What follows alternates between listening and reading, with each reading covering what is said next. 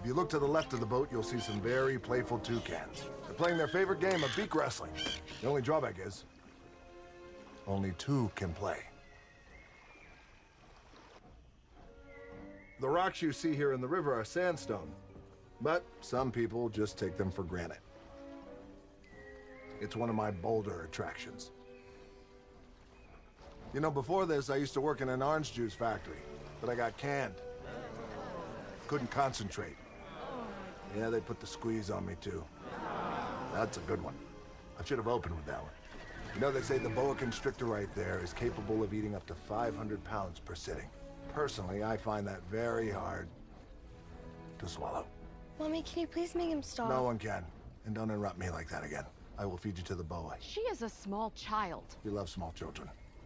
Close your mouth. Hey, MacGregor. I had a girlfriend once. She was cross-eyed. Didn't work out. We could never see eye to eye.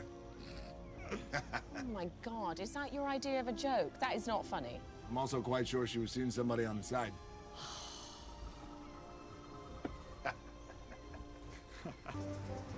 I hope you know what you're getting yourself into here, Frank.